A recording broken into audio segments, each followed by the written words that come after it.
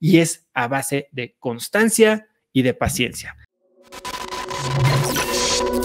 Ustedes probablemente han eh, pasado momentos en los que de repente se ponen las pilas y dicen, ahora sí voy a hacer todo, y entonces te despiertas un día, haces ejercicio, eh, ya como hiciste ejercicio, entonces desayunas mejor, ya como desayunaste mejor, entonces tal vez a la hora de la comida no te echas la canasta de pan y cenas más ligero y entonces algo que hiciste en tu mañana empieza a tener un gran, una gran repercusión en el resto del día. Y no te hablo de que te mataste de hambre ni hiciste seis horas de ejercicio, de lo que hablo es de que, ok, tuviste un día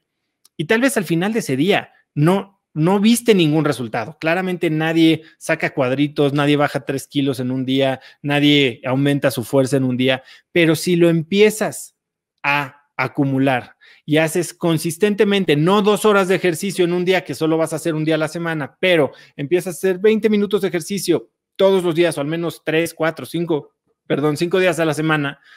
eso empieza a acumularse y eso a la larga, cuando lo ves al final de un año,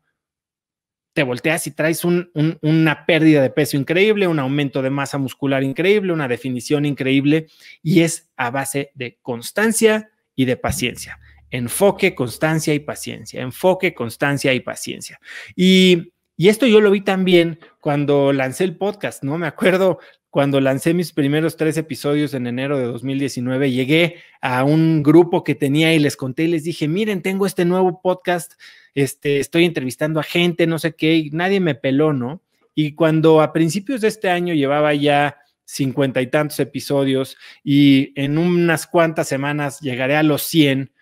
Volteo con gente y me dicen, es que es increíble, lo que hace un año nos contaste no era nada, hoy es algo que ya tiene pues, millones de reproducciones,